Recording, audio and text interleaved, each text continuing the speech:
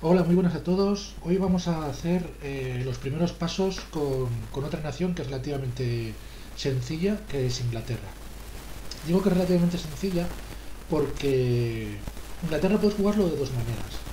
Puedes jugarlo a, ser un aislacionista y, y, simplemente centrarte en tu economía y tu poderío naval, que eso es lo más fácil realmente, es abandonar el continente y solamente centrarte en proteger la isla y en colonizar. O puedes la manera más difícil, que es utilizar árbol de misiones para conseguir el, el trono de Francia. De esta manera, unir el reino de Inglaterra y el reino de Francia que una persona. Este segundo modo es un poco bastante complicado porque mmm, Francia tiene mejores, tiene más ejército, ¿de acuerdo? Y mejores eh, tropas, aparte de mejores generales.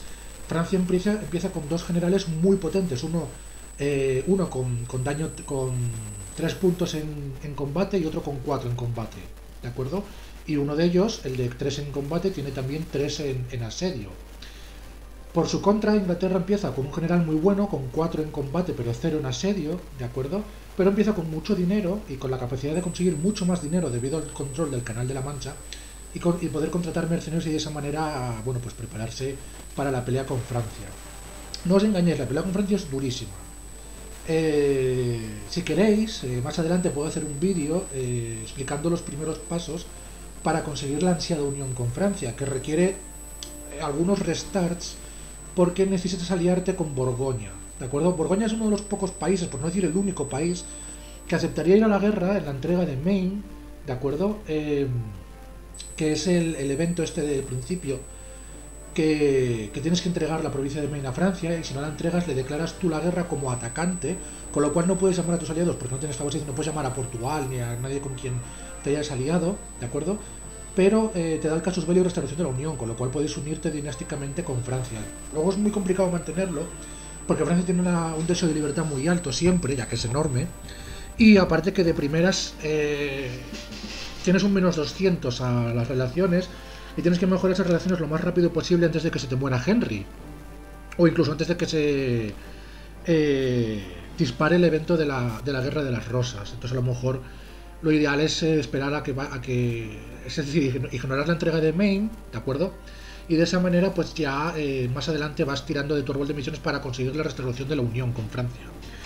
Pero si queréis hacerlo con la entrega de Maine, es obligatorio eh, empezar, reempezar cada partidas hasta que Borgoña no sea rival tuyo y sí lo sea de Francia. De esa manera te puedes aliar con ellos y en la guerra ofensiva que tú declaras como atacante le puedes prometer eh, territorios y normalmente se une. Y entonces es una guerra que es muy ganable. ¿De acuerdo? Pero bueno, dicho esto, las dos maneras de jugar con Inglaterra, la modo, el modo fácil, que es el aislacionismo, y el modo difícil, que es invadir Francia, yo prefiero el, modo fácil, pero no, porque sea fácil, sino porque para este tipo de vídeos eh, viene muy bien para aprender sobre economía y colonización, sobre todo sobre comercio. Inglaterra domina el nodo del Canal de la Mancha, además lo, domina con mucha facilidad, porque hay, como ya expliqué en otros vídeos, hay muchos países luchando por, bueno perdón luchando no compartiendo el canal de la mancha el nodo del canal de la mancha está pues está la propia Inglaterra Está Borgoña, está Flandes, Brabante, Holanda, Utrecht, Gelre, Frisia, ¿de acuerdo? Y Lieja. Estos países están compartiendo el poder comercial en el nodo del Canal de la Mancha, que es un nodo final. No se puede sacar, solamente se puede meter eh, valor comercial, ¿de acuerdo? Eh, Francia mmm, puede conseguir también estar en el Canal de la Mancha, y eso también añade otro país más, aparte de todos los países que de una u otra manera, y Frisia Oriental, perdón, eh, eso, a partir de cualquier otro país que de cualquier otra manera pueda conseguir un poco de poder comercial en el Canal de la Mancha y también meterse a competir ahí. Pero de primeras, Inglaterra tiene el control absoluto del Canal de la Mancha, el, dominio, y eso hace que eh, tenga una economía muy fuerte desde el principio. Desde el principio te puedes permitir tener un ejército relativamente grande, poder contratar un par de, compañías mercenarias eh, y poder meterte también esto, consejeros. Es más o menos como Castilla, en ese sentido del comercio, Solo que el Canal de la Mancha tiene un poco más de valor y la diferencia es que Castilla con, el, con la provincia de la Mancha y el oro consigues más dinero que Inglaterra en ese sentido. ¿De acuerdo? Bueno, lo primero es, bueno, pues nada, vamos a empezar. El modo Iron Man tal, eh, voy a llamarlo Reino Unido. Bueno, Gran Bretaña. Porque mi objetivo es formar Gran Bretaña. Entonces, En el modo fácil, el modo aislacionista, lo primero que tienes que hacer es eh, abandonar el continente. ¿Y cómo se abandona el continente? Bueno, pues ahora en cuanto cargue la partida lo vamos a ver. Vale, lo primero es irte a las provincias del continente, ¿de acuerdo? Vamos a ignorar por ahora todo esto. Bueno, voy a hacerlo antes de que se me olvide, que es eh, recoger tierras de la corona. Vale. Entonces, vamos a ir a Calais. Calais lo primero. Calais, eh, lo primero que voy a hacer es darle un edicto defensivo para que sea muy difícil que me lo conquisten, ¿de acuerdo? Y como tarde o temprano puede que lo pierdas, porque Borgoña y Francia lo quieren, ¿de acuerdo? Yo voy a explotarle ahora ya un poco el desarrollo. Y esto es lo primero que hago con todas las provincias que hay en Francia. Exploto el desarrollo de todas las provincias militar para conseguir soldados y de esta manera desbloquear rápidamente la misión que os voy a enseñar, ¿de acuerdo? La misión que os voy a enseñar, que se desbloquea rápidamente, es esta, reclutar tropas. De esta manera, cuando nuestra soldadesca consiga el 60%, tendremos el casus belli subyugación contra Escocia, que es muy fácil, muy fácil. Entonces, bueno, vemos nuestros enemigos son Dinamarca, Escocia y Borgoña. Nos viene muy bien, nos viene genial que Francia no sea nuestro enemigo porque vamos a hacer lo siguiente. En acciones económicas vamos a venderles a ellos la provincia de Maine. Antaño, si, si liberabas un... Bueno, lo voy a hacer de esta manera para que lo entendáis. Lo primero que voy a hacer es liberar a Normandía. Normandía va a ocupar estos tres, estas tres provincias, ¿de acuerdo? Y va, a ser, y, va, y va a ser un vasallo mío. Bien, una vez que esté liberado, vamos otra vez al, al, menú de súbditos y aquí vamos a activar el escudaje. De esta manera, cuando nosotros estemos en guerra, ellos no participan, con lo cual no cuentan para lo que es el puntuaje de la, de la guerra. Viene genial, así no tienes que preocuparte de ellos. Y les vamos a dar la provincia de Alençon también. Vale.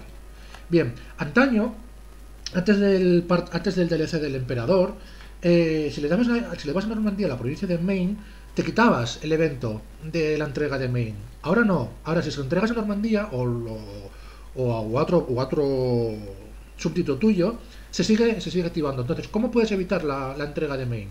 Vendérselo. Tú vas a vender, tú vas a Francia, si no es rival tuyo, si es rival tuyo no se lo puedes vender, ¿vale? Tú vas a Francia y le ofreces la provincia de Maine. Vamos a cero y vamos a ver cuánto. Y nos eh, podemos ofrecer hasta 60. Jugando con esto, igual se puede rascar 60 y pico, un poco tal, a ver, 56, 65, no, 60 solo. Bueno, pues 60 monedas, que no está nada mal. De acuerdo. ¿Y ahora qué hacemos con Burdeos y Labort? Ya exploté desarrollo, ¿no? Sí, vale. Lo que hacemos ahora con Burdeos y Labort es lo mismo. Yo le voy a vender a Navarra la provincia de Labort porque tiene eh, cultura vasca, entonces eh, Navarra lo acepta. Vamos aquí, vendemos Labort, aquí creo que también era 45 monedas. ¿Y qué hacemos con Burdeos? ¿Quién compra Burdeos? Burdeos se la puede vender a Francia, una, ha pasado un tiempo. Pero si quieres quitártelo ya, por si acaso, a quien se lo puedes vender es a, Bretaña. ¿De acuerdo? Porque la, cultura gascona está dentro, está acepta dentro de lo que es la cultura bretona. Entonces se lo puedes vender a, a esta gente. Es una putada para Bretaña, os lo voy a decir así claro, es una putada para Bretaña venderles Burdeos. Porque Francia tiene un núcleo en Burdeos. Entonces lo que haces es que Francia pueda eh, eh, conquistar toda Bretaña y de esa manera lo consigues más fácil. Pero bueno, realmente te, da igual. Tú vas lo que vas a hacer es abandonar el continente. A ti lo que pasa en el continente te la pela bastante. ¿De acuerdo? Entonces vamos a venderles Burdeos. Aquí sí que hay que tirar de, la, de esto porque... Aquí, 37, ¿de acuerdo? Porque si vamos con las flechas, no llegamos no nos deja llegar a 40, ¿vale? Entonces aquí tenemos que subir a 37. De esta manera, fijaos que ya tenemos 200 monedas y no hemos empezado, ¿de acuerdo? Vale, voy a unir los barcos, voy a quitarme dos porque ya he superado, al prender que estas provincias de costeras he perdido límite de fuerza naval, ¿de acuerdo? Voy a quitarme un par de barcos, voy a quitarme un par de transportes porque realmente no es que los necesite mucho. Bien, ¿qué más ahora? Bien, eh, Inglaterra tiene esta ventaja de, de tener la monarquía inglesa. La monarquía inglesa, a ver, Inglaterra no es un país para hacer conquista mundial, ¿de acuerdo? El tema de tu monarquía hace que tu absolutismo sea una mierda, entonces hace que tu eficacia administrativa sea una mierda. Eh, entonces no aprovechas mucho eso, a pesar de que luego cuando eres Gran Bretaña, a pesar de que tienes capacidad de gobierno y todo eso, pero no la aprovechas bien el absolutismo. Entonces, las naciones que juegan a expandirse eh, tienen que jugar con el absolutismo, porque eso les, les aumenta la capacidad administrativa y eso aumenta la capacidad de gobierno y, la, y aparte la capacidad de hacer los núcleos más baratos y más rápidamente, ¿de acuerdo? No obstante, la monarquía inglesa nos da el parlamento desde el principio, que no está nada mal, la verdad, no está absolutamente nada mal, aunque los primeros años es un poco palatero, porque tú lo que quieres son colonos, o tradición militar, o costo tecnológico, y realmente lo que te dan al principio es caca. O sea, lo que te dan al principio no, no vale para mucho. Pero, oye, también te sirve para que en el nivel 5, cuando tengas que discernir entre parlamento o decreto real, es decir, entre, absolutismo o parlamento, el parlamento está muy bien porque te da, eh, lo veis aquí, el parlamento te da eh, reducción de distribución nacional, pierde eh, todas las tierras de la nobleza, pasan a la corona, y además el estamento nobleza desaparece, lo cual está genial también, y em, te, da, te activa el parlamento. Entonces, em, países que no, que no juegan a expandirse mucho, pues a lo mejor una Florencia que juega a expandirse solo por Italia, eh, una Austria que solo juega a expandirse por Austria, como mucho por Hungría, con la, con la herencia y tal. Una Prusia que no juega a expandirse, que no, que no juega a formar el, imperio alemán, sino que solo juega a jugar Prusia. Una Lübeck, una Pomerania. Eh, una España que se quede en España, que, que, ignore completamente lo que es el tema de Italia, por ejemplo, eh, pueden jugar con el Parlamento, ¿de acuerdo? Porque además España, el tema de las costas del Magreb, lo puedes hacer a base de, de compañías comerciales y eso te quita capacidad, te quita de, tener que estar eh, invirtiendo ahí capacidad de gobierno. Bueno, lo primero que tenemos que hacer es hablar, eh, bueno, primero voy a darles eh, un par de escaños, uno a Essex y otro a Norfolk. Cuando deis escaños a los parlamentos, fijaros bien en esto, ¿de acuerdo? Fijaros lo que os da, eficiencia de producción, modificación de impuestos, modificación de riesgo y modificación de marineros. Entonces, yo recomiendo que a la hora de dar sitio, asientos en el Parlamento, se los deis a provincias que tengan eh, bienes importantes como hierro o telas, ¿de acuerdo? Y que, y y que preferiblemente sean costeras. Porque así aprovecháis todo lo que os da eh, estar en el Parlamento. Vamos a iniciar un debate. Eh, como veis, costes de consejero, tal. Mira, costes de consejero no está mal. Modificación de mantenimiento terrestre tampoco está mal. ¿De acuerdo? Eh, yo voy a coger este de mantenimiento terrestre, entonces vamos a darles. Eh, vamos a perder un poco de legitimidad y ya está. Vale. Siguiente cosa. Vamos a ir a la corte, como veis, ni estoy casado, ni tengo heredero, y mi rey es una reputa mierda. Además, eh, es estéril. O sea, un rey 000 eh, es una mierda. Yo lo que recomiendo con Inglaterra es que el, el evento del desastre inminente, la guerra de las dos rosas, lo dejéis que se active. ¿Y cómo conseguimos que se active? Eh, normalmente se activa si no te casas con nadie. Rehúsa eh, cualquier matrimonio. Puedes aliarte con España, de hecho lo voy a hacer. Eh, aliarte con España es muy buena idea porque te ayuda a protegerte de Francia y de Borgoña, en, mayor o menor medida, ¿de acuerdo? Hay veces, aunque muchas veces los españoles son un poco cabroncetes y te declaran la guerra a los franceses o borgoñoses y ellos pasan de unirse y, entonces te joden. Y tienes que entregar Calais, ir liberar irlandeses, en fin, un poco puteante. Pero realmente no es nada que te, que te, que te incomode. Realmente como Inglaterra, no hay nada que te incomode. Una vez que has abandonado el continente y que solo te queda Calais, mmm, ya no tienes nada que te incomode. Ya puedes jugar a tu juego. Porque Escocia, cuando lo subyugues por el árbol, por tus misiones, mmm, no se puede anular nunca la subyugación mediante la guerra, ¿de acuerdo? Requiere más del 100% de, de puntuación de guerra, entonces nunca vas a perder Escocia, salvo que tengan opinión negativa sobre ti, ¿vale? Sí que te, sí que te putean mucho pues haciéndote que liberes eh, los, las naciones, la, los pequeños países de, de, aquí de Irlanda, los OPM que se llama, los One Province Minor. Entonces, eh, hablaba de la guerra de las dos rosas. ¿Por qué quiero que porque es ideal que se active? Primero, porque una vez que se active el evento de las dos rosas, te da para elegir entre dos gobernantes. Bastante buenos. ¿De acuerdo? Bastante buenos, no, normalmente. De hecho, cualquier gobernante es, va a ser mejor que Henry. Así de simple. Aparte, cuando termine el evento, que es eh, aniquilar a los a los rebeldes eh, y tener un heredero, em, te dan, te dan eh, estabilidad gratis. Y eso está muy bien. Es verdad que el evento te quita estabilidad. Cuando está ahí el evento te, te pierdes una estabilidad.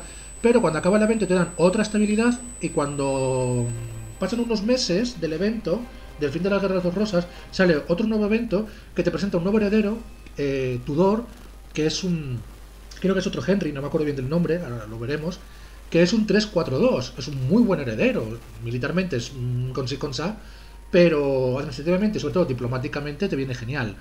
Y tú lo que quieres es, como siempre, igual que con España y con Portugal, tú lo que quieres es rushear eh, la, tecnología administrativa 5 y las ideas de exploración. De esta manera, eh, empiezas a conocer rápidamente por aquí, en la, en la zona de Terranova y Canadá, te renova el Labrador y la zona de Canadá y te abre el paso al Caribe. ¿De acuerdo? Hay que tener cuidado con la colonización del Caribe, porque cuando lo hagas tú todavía vas a ser católico, vas a romper el Tratado de Tordesillas.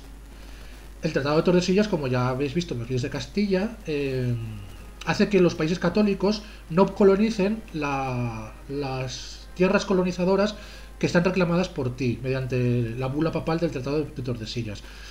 ¿Por qué digo que es peligroso? Porque tú vas a estar aliado con Portugal y Castilla y se van a enfadar contigo y van a desear esos territorios y van a romper las alianzas contigo. No te de, al principio mantén las alianzas porque te sirve para protegerte de, Francia y de Borgoña, pero más adelante te da igual. Y luego realmente con conseguir una única provincia, Aruba, Jamaica, Puerto Rico, Zui si es posible, ¿de acuerdo? Con conseguir una única provincia ya te es suficiente porque tú mm, en el Caribe, a pesar de que tienes una misión que te pide colonizar el Caribe, si tienes una provincia en el Caribe, eh, pues preferiblemente una de estas, eh, Jamaica, Puerto Rico, Aruba, que son islas, o Zui, que está en la isla de Santo Domingo, y, que tienen, eh, esas provincias porque tienen un puerto.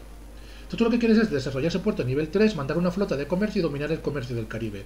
Y recordar que el Caribe, eh, una de las rutas comerciales que salen del Caribe, que es esta, a ver dónde está, esta. Eh, no, perdón, esta. Bueno, una de, una de las rutas del Caribe. Oh, no, no, no, no. Perdona, chicos, hoy, hoy estoy un poco espeso. Eh, el Caribe, sí, el Caribe saca a la bahía de Chesapeake, ¿vale? Y la bahía de Chesapeake es esta de aquí, que te saca directamente al Canal de la Mancha. Entonces, no es mala idea dominar el Caribe, porque una de las rutas eh, te lleva directamente aquí al Canal de la Mancha mediante la bahía de Chesapeake. Y luego, otra ruta que tú también quieres eh, eh, dominar es la costa del Cabo, la costa de Marfil, que está aquí, el nodo del costa de Marfil, que es esta que sale de aquí, ¿de acuerdo? Esta viene directamente al Canal de la Mancha y absorbe, eh, absorbe comercio de todo el comercio que viene de por aquí, de las Indias. Lo absorbes a través de, la costa del Cabo. Y la costa del Cabo es obligatorio para cualquier país que quiera dominar el comercio, dominarlo. La Costa del Cabo es una provincia que hay aquí en Sudáfrica, es la única provincia del nodo que tiene un puerto, con lo cual con tener esa provincia ya dominas el, nodo. Lógicamente, si pillas todas las provincias, pues no vas a, no vas a dejar que nadie se instale y el, el control del nodo va a ser 100% tuyo. Entonces,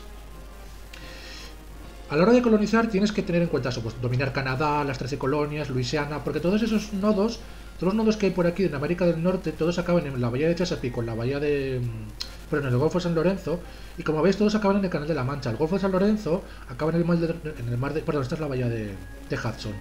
Acaba en el Mar del Norte y, al Canal de la Mancha. El Golfo de San Lorenzo acaba aquí en Burdeos, a Champaña y al Canal de la Mancha. O sea, acaban siempre en tus dominios.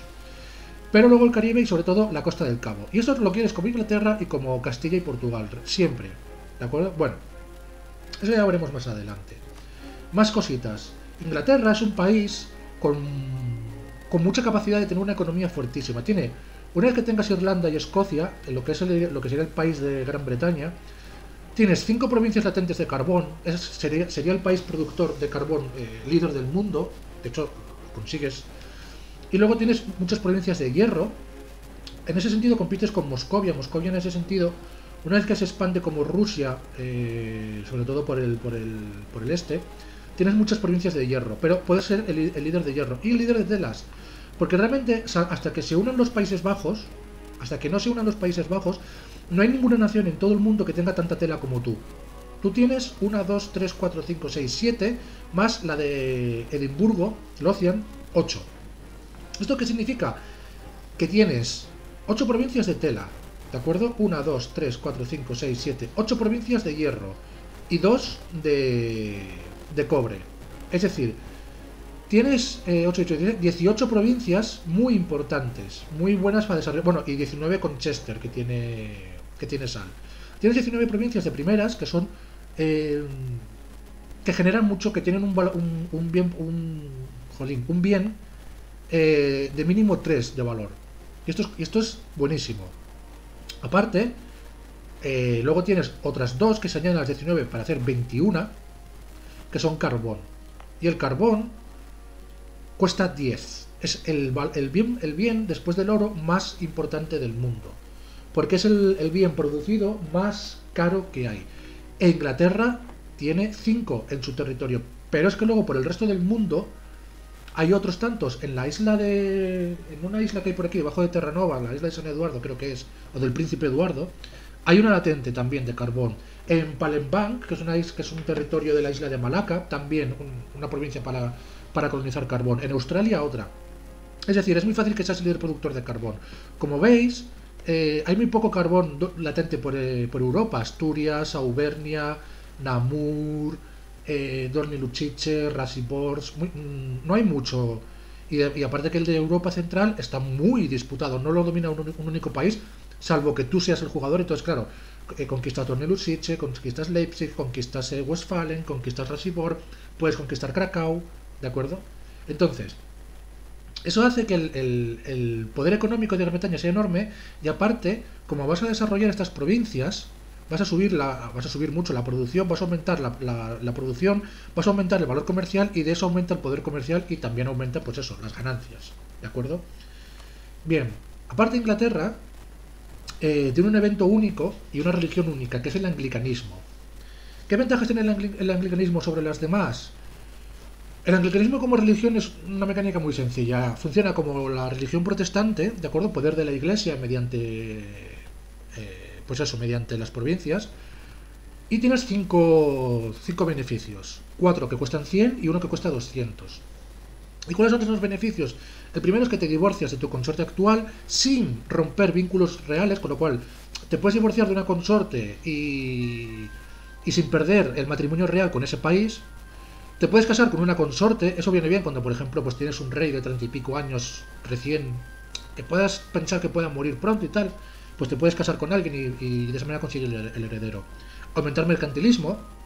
Eso muy bien porque Reino Unido, eh, Inglaterra, empieza con un 25% de mercantilismo.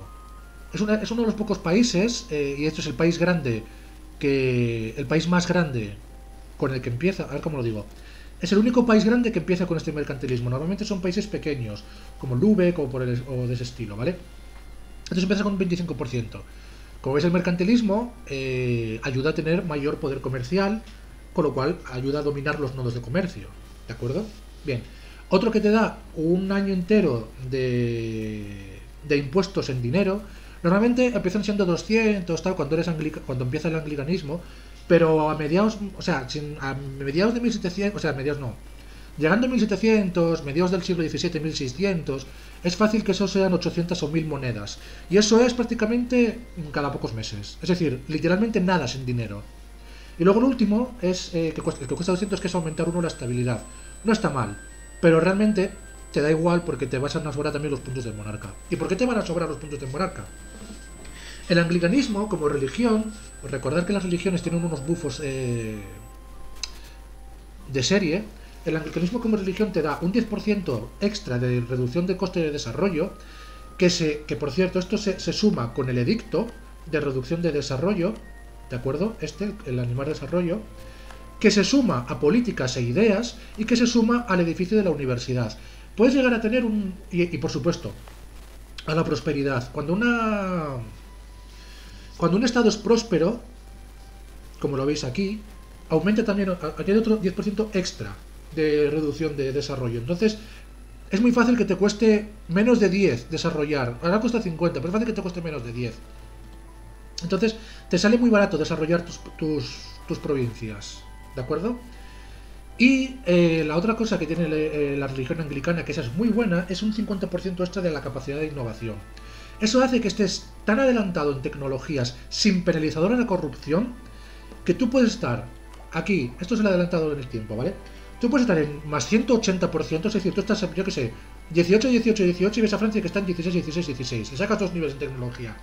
Y eso hace que, cuando vayas acumulando puntos de monarca, los emplees en desarrollar. De hecho, es muy fácil que Inglaterra, la propia, la propia zona de Inglaterra, la propia zona de Reino Unido, acabe con mil de desarrollo sin necesidad de tirar de, de compañías comerciales o territorios conquistados. ¿De acuerdo? Bueno. Eh, fortalezas en Gran Bretaña no son necesarias realmente. O sea, no te va a invadir casi nadie. O nadie, prácticamente. Entonces eso ya... Yo las dejo, no me cuesta dinero. Yo dejo esta porque la guerra contra Escocia no viene mal. Ya que se no pueden pasar. Esta la quito. No, no te vale para nada. De hecho, si salen aquí rebeldes te joden porque se quedan con ese castillo y tienes que ir a asediar el castillo. ¿Vale? El de Londres, bueno, de Londres está bien, también. Un rebelde de estos típicos que puedan salir. Te lo quedas. Bien. Una vez dicho todo esto, eh, y los objetivos con Inglaterra, ¿de acuerdo? Eh, y el control del Canal de la Mancha, hay una serie de nodos mundiales que hay que dominar. Em, el problema, claro, en este mapa pues no se puede ver. Pero los nodos mundiales que tienes que dominar sí o sí son el propio Canal de la Mancha.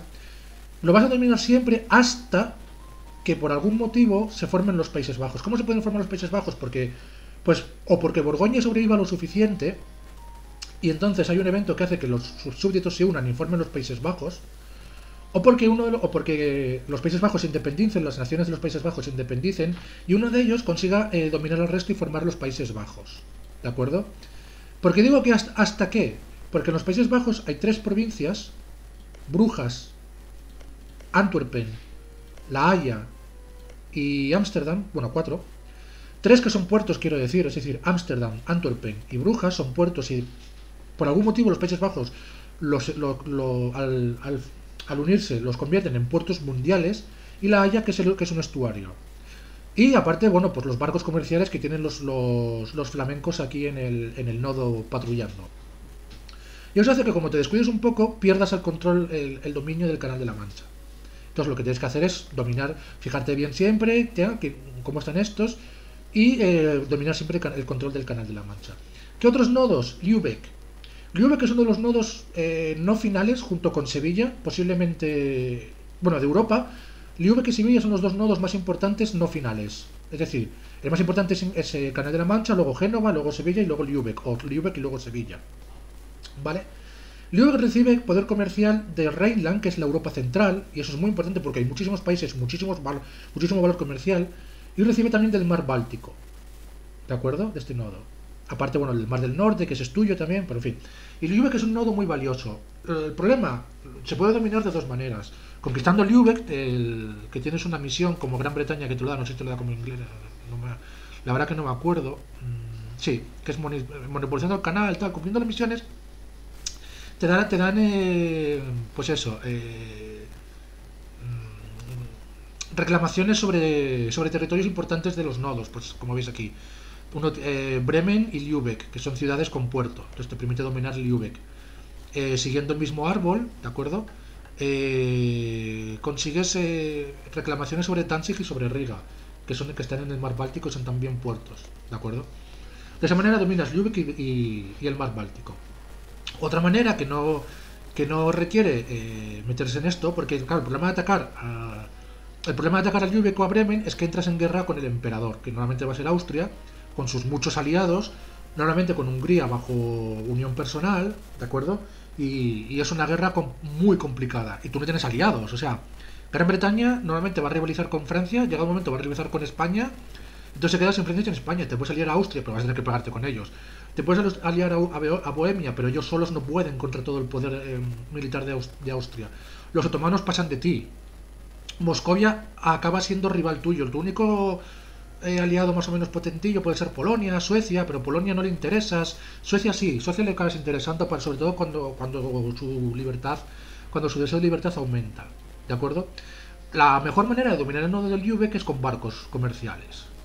¿De acuerdo? Esa es la mejor manera sin tener que evitar, sin tener que entrar en guerra con el emperador. Hombre, si cumples la misión y consigues las reclamaciones, pero además creo que son permanentes. Sí, son permanentes, perfecto. Como son reclamaciones permanentes, puedes esperar un momento de debilidad, que Austria no se una, o que el emperador sea otro, sea otro, por ejemplo, tras la guerra de las. tras la guerra religiosa, que el emperador sea un, un, país débil, pues que sé, Hesse, que Hesse, o Sajonia, o Brunswick, un país relativamente débil. Entonces ahí puedes buscar la, entrar en guerra con, estas, con estos dos países. Pero cuidado porque eh, tienen mucho desarrollo, ahora no, bueno, tienen bastante, pero acaban teniendo bastante desarrollo y generan una, una un impacto de, de expansiva muy alto. Hay que tener cuidado con eso, ¿de acuerdo? Bueno, aparte de, en Europa, pues eso, tienes que dominar Lübeck y, y, y el Canal de la Mancha, ¿de acuerdo? Sevilla no lo vas a dominar porque Sevilla es de Castilla y de Portugal. Como mucho puedes tener ya Baltaric o menor que tal a través del, del, tal. No la vas a dominar. Puedes intentar dominar Alejandría a través de tu árbol de misiones, porque Alejandría acaba desembocando en Lübeck a través de sus nuevos comerciales, porque te lleva a Constantinopla, a Ragusa, a Viena, a Rheinland y luego a Lübeck, es decir, la ruta, la ruta comercial, como veis, aquí la tenéis. Alejandría, Alejandría recibe de todo, de todo Oriente Medio y recibe bastante poder. Esto es un nodo eh, bastante, bastante importante al final de la partida. Como veis, te lleva a Constantinopla, Constantinopla te lleva a Pest, Pest a, Viena, Viena a Rheinland y a Sajonia, de hecho, te lleva los dos. Eh, no, a Sajonia, sí, a Sajonia, no, eso es Pest, perdón, a ver, que me estoy liando. Constantinopla saca a... Constantinopla saca a Ragusa. Es Ragusa, vale. En Alejandría saca a Constantinopla, Constantinopla a Ragusa, Ragusa a Pest, Pest a Cracovia y Rheinland, Cracovia a Sajonia y a Lübeck, y Rheinland a Lübeck, y Cracovia también saca al Mar Báltico y a Lübeck. Es decir, se recibe bastante poder comercial desde Alejandría. Y con tu árbol de misiones lo puedes conseguir. Problema, que tienes que conquistar Gibraltarik, o sea, Gibraltar, Menorca, las islas del Mediterráneo, Sicilia, Malta, Creta, eh, en fin, para conseguir los reclamos en Alejandría, ¿de acuerdo? Pero bueno, tampoco es un nodo muy importante. Los, importantes en Europa son el Canal de la Mancha y Lübeck. Esos son los dos que tienes que dominar en Europa. En Europa. El Mar del Norte lo vas a dominar siempre, más que nada porque además luego vas a tener Kor, que tiene un puerto, eh, Aishir, que tiene un puerto, y Lothian, que tiene un puerto. Es decir, el Mar del Norte es tuyo, sí o sí, siempre. Sí o sí, siempre también van a ser los nodos de toda Norteamérica. Desde Luisiana, los Grandes Lagos, Ohio, Valle de Hudson, Golfo de San Lorenzo y Valle de Chesapeake, todos esos siempre van a ser tuyos. Porque no va a haber nadie más, son tus no colonias y siempre van a llevar poder al Canal de la Mancha. Hay que dominar el mar del Caribe, barcos comerciales, dentro de lo que cabe. Y si puedes, cuando. Porque tarde o temprano vas a entrar en guerra con ellos, tanto con Castilla como con Portugal. Pues les vas pillando sus territorios en, el mar Caribe y luego formas tu propia nación colonial. Sí o sí también Costa de Marfil y Costa del Cabo, porque estos reciben poder comercial de toda Asia. Todo el poder comercial de Asia acaba derivando en aquí, aquí y aquí. ¿De acuerdo? Este es el nodo de Samarcanda. Eh, perdón, está por aquí, Samarcanda. El nodo de Samarcanda. El nodo de Alejandría, que recibe de Hormuz. Es otro, otro nodo importante, Hormuz. ¿De acuerdo? Y el nodo de la costa del Cabo. Luego está Zanzíbar, que recibe poder comercial de África. Está bastante bien. No es, no es difícil, además no es difícil de dominar. Porque lo puedes conseguir a través de Madagascar, de una provincia que puedes colonizar o, y luego puedes comprar eh, alguna provincia por aquí, es fácil de dominar. Y luego hay otros dos, tres, muy importantes aquí, que tienes que, que hay que dominar sí o sí. Coromandel, que está en el sur de la India, el Golfo de Bengala y Malaca. El Golfo de Bengala y Coromandel los puedes dominar por tu árbol de misiones cuando eres Gran Bretaña, ya que te dan eh, reclamaciones permanentes sobre la India. Pero Malaca es muy complicado. Además, la nación, mm, pasado el tiempo, se forma Malaya, Malaya es una nación bastante poderosa para ser un país del sudeste asiático y, igual que el Bengala, son países que es muy complicado luchar con ellos y requieren de, una inversión militar muy alta, tanto en, comprar mercenarios como en tener ejércitos propios allí, porque los mercenarios son peores que un ejército propio, ¿vale? ¿Y por qué son importantes estos nodos? Porque al final de la partida son de los nodos más valiosos del mundo después del tuyo propio del Canal de la Mancha. Es muy fácil que Malaca sea el segundo o tercer nodo de más valor del mundo, Coromandel de Bengala. Reciben poder de las Filipinas, de Molucas y de toda China. Y eso es muy importante. ¿De acuerdo? Entonces, si quieres un imperio colonial y, y comercial, más, más que colonial, comercial, esos son los nodos que hay que dominar. Eso se consigue mediante provincias clave, provincias que tengan eh, eh, puertos o estuarios, ¿de acuerdo? Y con barcos comerciales. Y con políticas e ideas, por supuesto que eso ya lo, iremos viendo más adelante. Bien, dicho esto, vamos a dejarlo aquí y en el siguiente capítulo ya empezaremos lo que es la, los primeros pasos reales de una partida con Inglaterra. Hasta luego.